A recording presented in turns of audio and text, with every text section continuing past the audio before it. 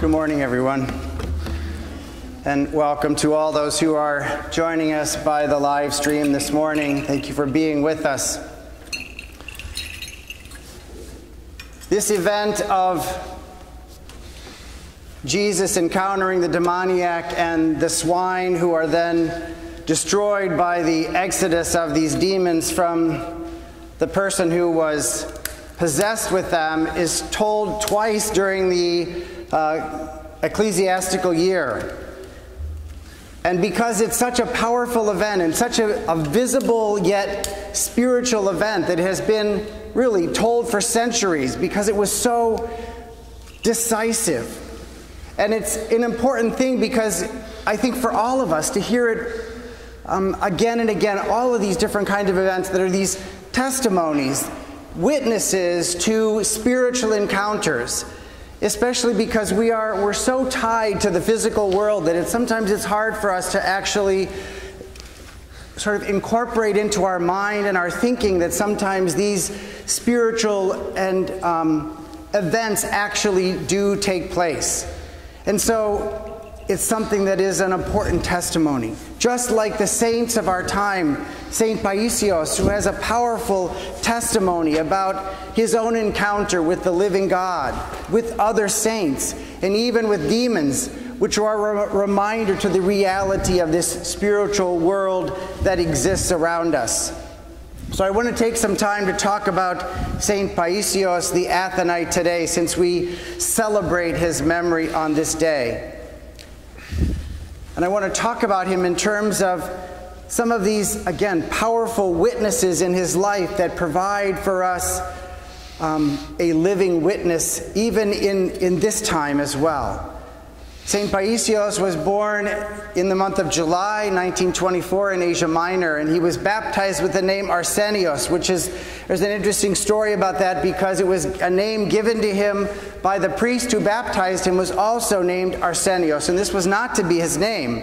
But the priest Arsenios, who later became Saint Arsenios, predicted this Saint Paisios' calling to the spiritual life even from his baptism. And then as a youth, he was a very faithful child. He spent time, a lot of time, walking in the woods and praying, holding a wooden cross that he himself had made. And this is something that he continued in his practice of prayer to be walking in the woods. And he did that many, many hours in his life, in his monastic life on Mount Athos. His official life on Mount Athos began in 1950 living in various monastic communities under the obedience of a few different elders.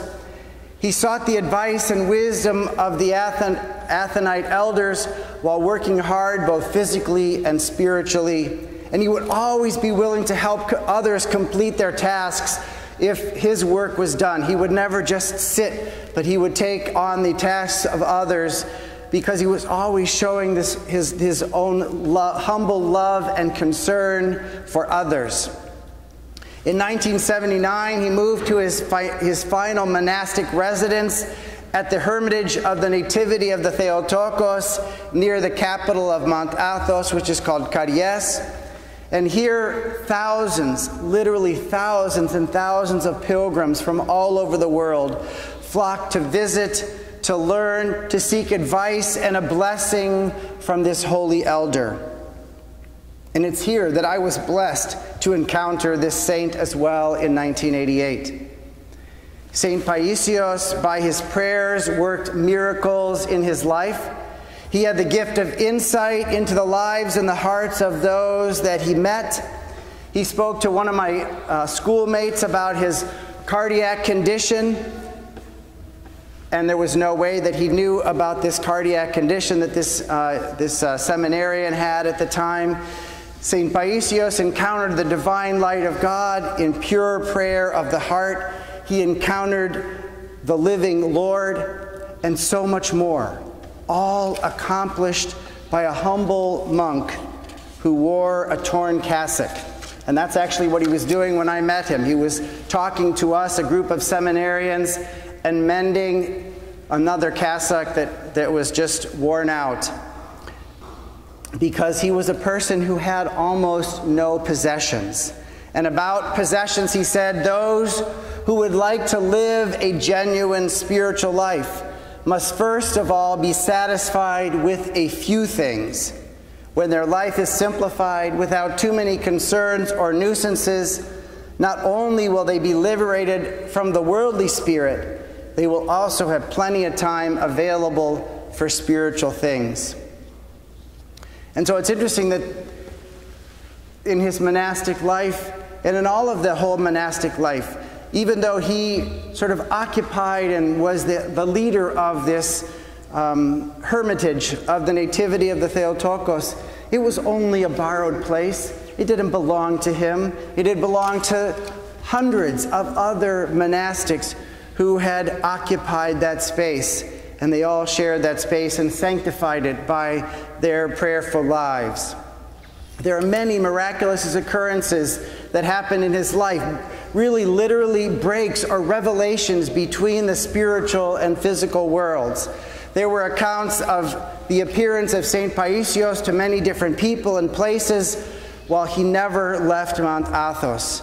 There was a rescue of a child on the street of Athens, um, just sort of getting him out of the, the path of an oncoming vehicle at the very last second, and people witnessed seeing this monk and then later were able to identify him as the elder Paisios. And when he was questioned about that event being seen in Athens and saving this child, he said, I don't know anything about that, but I do know that at this particular time is when I pray for travelers. He also had an amazing encounter with St. Euphemia, who we remembered yesterday. So it's interesting that their two, two of the saints uh, and their feast days are so close together that he was praying for guidance from St. Euphemia as she guided those at the Fourth Ecumenical Council to find the true faith. He was praying to her, and as he was praying during the, uh, the third hour, there was a knock at his door, and he said, Who is it? And he hears this woman's voice, which is extraordinary on Mount Athos because there are no women. And she says, It is me, Euphemia. And he sort of ignores that and continues with his prayer. And there was a knock again. Who is it? It's me, Euphemia. And then he realizes that this uh, presence has entered into the into his um, into the monastic uh, hermitage and he goes and he sees her venerating an icon in the hallway, and he asks her to say, Give glory to the Father and the Son and the Holy Spirit. He was testing that this was indeed a saint and not a demon. And so she says that, and they begin a conversation, and she offers him. Um, she offers him advice on what he had been asking about, and then he speaks to her about her martyrdom and how she withstood the, the, the, the very difficult things that she went through in martyrdom. And she said, when he asked her how she did it, he said, she said, if I would have known the glories that I would have experienced in heaven, I would have gladly experienced more torments in order to receive the great blessings of the kingdom of heaven. And so, what do we do with this information, with all of this literally books that are filled with these events, these marvelous spiritual events that happened in the life of, of uh, Elder Paisios in such, just in our own times to think about that.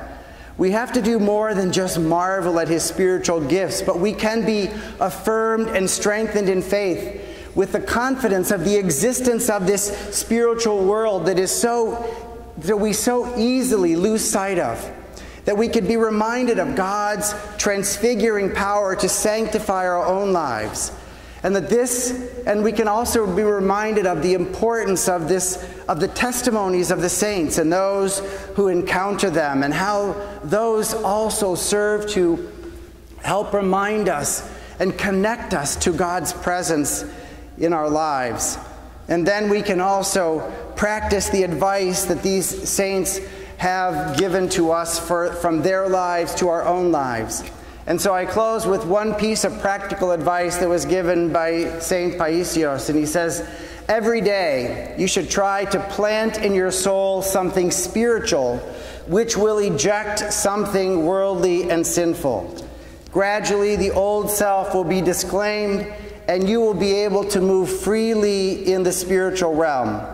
Replace sinful images in your mind with holy ones. Replace songs with hymns, worldly magazines with spiritual books. Simple yet powerful advice to allow God to fill and move us with his presence every day.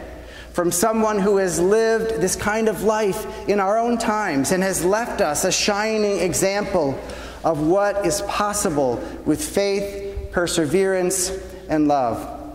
So may we honor St. Paisios with our own spiritual struggle, following his advice, so that we may also glorify God in the saints. In the name of the Father, and the Son, and the Holy Spirit. Amen.